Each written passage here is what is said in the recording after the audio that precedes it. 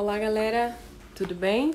Aqui é a professora Gabriela e vamos dar continuidade aos nossos conteúdos do capítulo 9, que tem como tema interação do organismo com o ambiente. As aulas anteriores foram referentes à visão, né, e às alterações visuais, e a partir dessa aula a gente vai falar sobre os outros sentidos, como o principal deles ali a audição, tá? E depois a gente vai falar dos outros, como paladar, tato, enfim. Então, a nossa aula de hoje começa com o tema audição. Para a gente iniciar esse tema, a gente precisa saber que todos os órgãos do sentido, eles vêm transformando a, a sensação de odor, de sabor, de calor, de pressão, de som, em impulsos nervosos que vai para o centro nervoso do nosso sistema nervoso.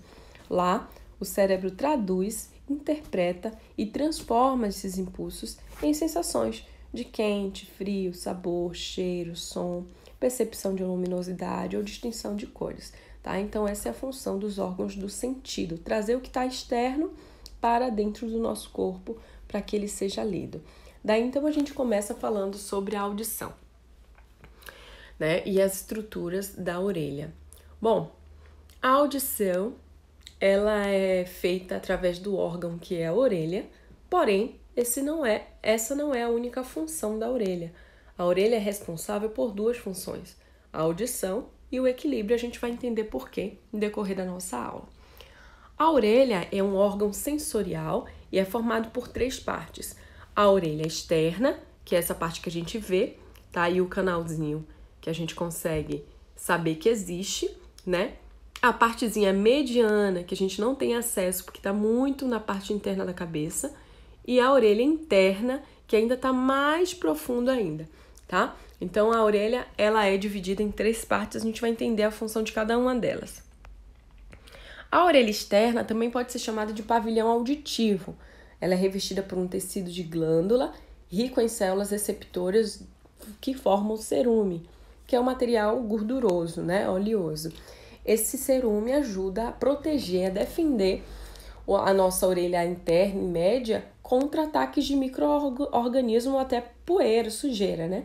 Então ele retém ali e vai grudando ali para que não entre esses possíveis é, malfeitores aí que podem alterar a estrutura da nossa audição.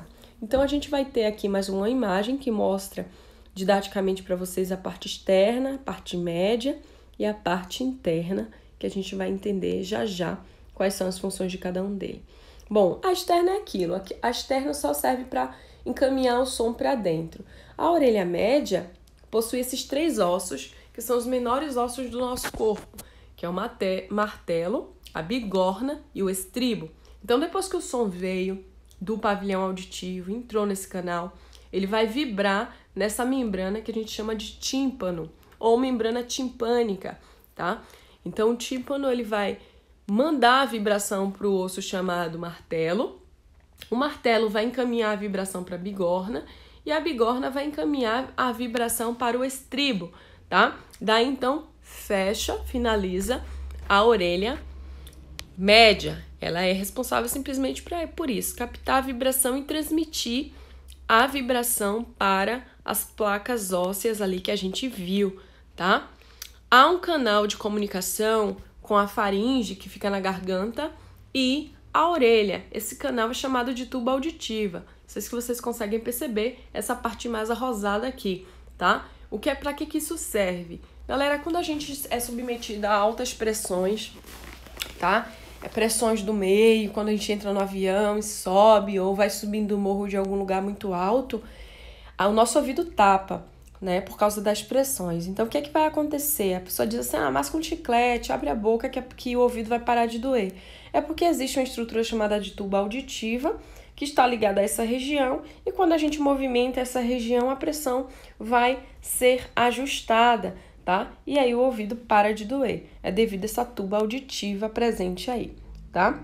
Chegando na orelha interna, a gente vai perceber que existe a cóclea. O que é a cóclea? Esse órgão aqui que parece um caracol é ela que é responsável pela é, percepção dos sons, tá? Então é ela que faz na realidade a audição acontecer. Ela vai encaminhar o que ela percebe, né, que veio dos outros órgãos, para os nervos auditivos, que vai ser mandado para o cérebro. O cérebro vai ler e vai interpretar. E os canais semicirculares, que são esses aqui de cima, é que vai trazer para a gente a percepção de equilíbrio, tá? Por quê? Porque dentro desses canais semicirculares existe um líquido, tá? E esse líquido é responsável por trazer a percepção do nosso corpo, a orientação do nosso corpo. Então, se a gente estiver vedado, com o olho, é, com o olho fechado e deitado numa maca giratória, daquelas que a gente vê nos filmes, a gente consegue perceber se a gente está deitado, se a gente está em pé, se a gente está de ponta cabeça, por causa do líquido que tem na nossa orelha, tá? Na orelha interna, dentro dos canais semicirculares. Tá? Quando a gente gira demais, gira, vai girando, girando, girando, a gente para, a gente continua sentindo que estamos girando, né? Estamos ali sem equilíbrio. Por quê? Porque o líquido que está dentro dos canais semicirculares continua em movimento. E por causa desse movimento há uma percepção de desequilíbrio até o líquido parar de girar, tá? Então é esse órgão aí que traz a percepção do equilíbrio corpóreo, tá bom? Então, nessa parte, eu acho que ficou claro, né, pessoal? Então, a gente percebe que são os canais semicirculares que possuem essa estrutura. Bom, o próximo órgão que a gente vai falar, na realidade, função sensitiva, é o olfato da página 167, 167. Tá? O olfato é responsável pela captação dos odores e tem como órgão sensorial o nariz. O odor ele é percebido pelas células sensoriais quimiorreceptores. Então, o nome das células que estão dentro da cavidade olfativa, dentro da cavidade do nariz, são químio, de química, receptoras, porque percebem as substâncias químicas do ar, tá? Do epitélio, ou seja, da pele do nariz interna, tá? Localizado no teto da nossa cavidade nasal, que fica bem na parte interna. Quando as moléculas do cheiro, do odor, chegam a esse epitélio olfativo, olfatório, dissolve-se no líquidozinho que a gente tem na parte interna do nariz, encaixam-se nos receptores específicos e estimulam eles e mandam eles sentirem, né? Os impulsos nervosos do epitélio do nariz, da pele do nariz, são transmitidos para o bulbo e dele vai para o nervo. Do nervo, então, vai ali para o cérebro, a parte do cérebro que a gente chama de tálamo, hipotálamo, e aí o cérebro vai ler aquilo dali como um odor, né? Então, a parte da frente da, do nosso cérebro que é responsável pelo, pela percepção do odor. A gente chama de lobo frontal, tá bom? Então, aqui tá mostrando para vocês uma imagem da parte do que seria o bulbo olfatório, que fica ali em cima da cavidade do nariz, a cavidade do nariz ou a cavidade nasal, tá? As células receptoras que ficam aqui bem na cavidade nasal. Então é aí onde tudo vai acontecer, tá? A gente ainda não sabe cientificamente como as células receptoras identificam quase 10 mil odores diferentes, né? A ciência ainda não respondeu isso, mas a gente consegue perceber essas é, percepções sim, tá? O paladar, pessoal. O paladar, a gente está na página 168, ele fala sobre a degustação, né? o ato de degustar. Por que, que a gente consegue fazer isso? Tem como órgão sensorial a língua, tá? O sabor é uma complexa mistura de sensações que dependem também da interpretação do nariz, do olfato, tá? Por isso que quando a gente está com o nariz entupido, a gente não consegue sentir direito o sabor dos alimentos, porque para a gente conseguir perceber a degustação, a gente precisa também sentir o cheiro do alimento para conseguir então mandar a informação correta para o paladar, tá? E a gente consegue sentir os sabores através da língua porque ela é recoberta por pequenas saliências, né, que a gente chama de papilas gustatórias. A gente consegue ver isso na no espelho. A gente vê umas bolinhas pequenininhas. Né? Embaixo das papilas gustatórias são os botões gustatórios, que eles são ligados assim quando o alimento é misturado à saliva e é é explanado ou espalhado por toda a parte da língua, tá? Abaixo tem os nervos que levam para o nosso encéfalo, para o nosso cérebro, então ler o que é que foi que a gente sentiu, se é doce, se é azedo, se é salgado, se é amargo, tá?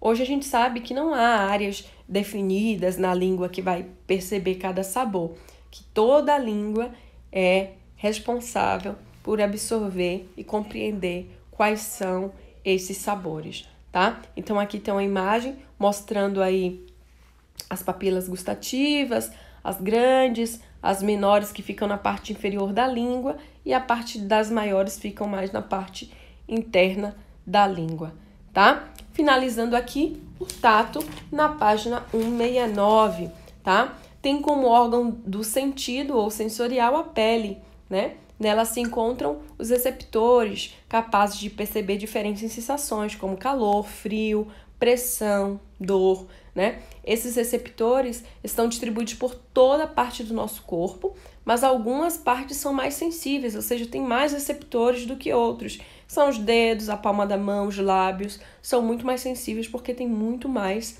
é, dessas células receptoras, tá? Então a gente diz assim: ah, prof, tem áreas no nosso corpo que a gente não consegue sentir. O cotovelo, por exemplo, eu belisco bem forte e não sinto dor. Calma, você sente sim, você consegue perceber que tem alguém ou alguma coisa tocando no seu cotovelo, porém nessa região existem menos células receptoras, tá? E por isso a sensação não é tão forte quanto as outras partes do corpo, mas todas as áreas possuem esses mecanorreceptores, que são as células sensoriais, tá, pessoal? Então, os receptores responsáveis pela dor são simples terminações nervosas distribuídas pela pele. Né? E dependendo de como ela é tocada, se for fraco a gente não sente, mas se for muito, muito forte, a gente vai sentir essa dor sim.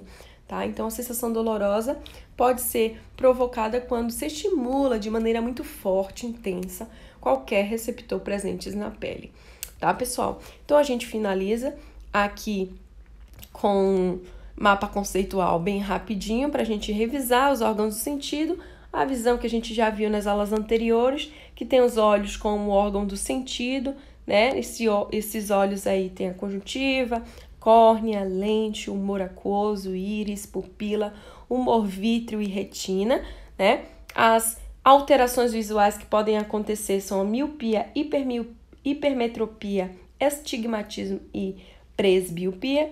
Já no olfato, ele é responsável pela captação das, dos odores do ambiente, né, por causa do epitélio olfatório, tá? No paladar, tem a língua como órgão responsável, né? As papilas gustatórias, que são as células presentes na nossa língua, fazem a gente sentir, perceber o doce, azedo, salgado e amargo. No tato, tem como órgãos do sentido a pele, que percebe pressão, frio, calor e dor, e na audição a gente tem a orelha como órgão do sentido, que é dividida em três partes: interna, média e externa. Então a gente fica por aqui, pessoal. Espero ter ajudá-los. Beijo grande, fiquem com Deus e até a nossa próxima videoaula.